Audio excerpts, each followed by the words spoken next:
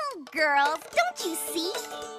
When I was a little filly and the sun was going down. Tell me she's not. The darkness and the shadows, they would always make me frown. She is. I'd hide under my pillow from what I thought I saw.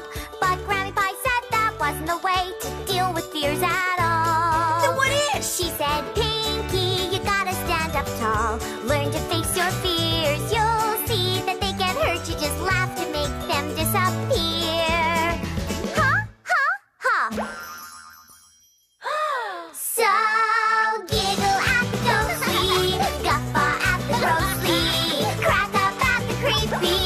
whoop it up with the weepy, snortle spooky. And tell that victim scary face to take a hike and leave you alone. And if he thinks he can scare you, then he's got another thing coming, and the very idea of such a thing just makes you wanna.